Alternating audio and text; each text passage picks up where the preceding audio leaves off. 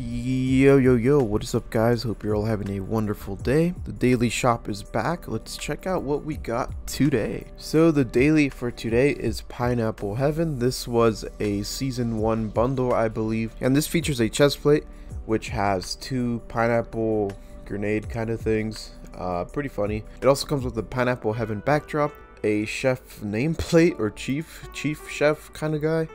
Uh, and yeah, of course it comes with the... Uh, the armor emblem, the weapon emblem, all that kind of stuff. And that is it for the daily shop. It costs 1,000 credits. Um, I don't really agree with this pricing just for a couple pineapple grenades and like emblems and stuff. I think that's a little too high on the pricing. I think 343 should have had a sale on this one. But uh, anyways, yeah, that's the daily shop. We got Pineapple Heaven. I'll see you guys on the next one. Peace.